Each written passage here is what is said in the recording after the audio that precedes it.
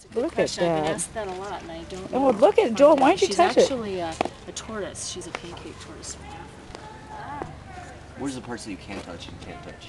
Um, actually, we just encourage people just to touch anywhere but the head area. We just they're actually very used to being handled because this is part of their outreach Do program. they so not? they go to Do they not like being like lifted up, or do they fine with it? No, they're well, they're used to it because they go out to the. Uh, well, she's been wa- she, she wants to walk, and so. But you see just- that, yeah. But I mean, it doesn't but look like she wants. yeah, but that's. Uh, but yeah, they're used to being handled. This one's not very slow. So cute. Pretty fast. Just Yeah, going for your purse, actually, Rebecca. they're- when Going for your lunch, Annabelle. it looks pretty lazy. It's kind of leaning down. it says that lunch looks Dude, really is there- good. is, is this is one of them that lays down when they walk, but like there's other ones that like stand up, right? Taking a Yes, rest. I have seen that. She's. We have another one that must be inside. Quite pretty.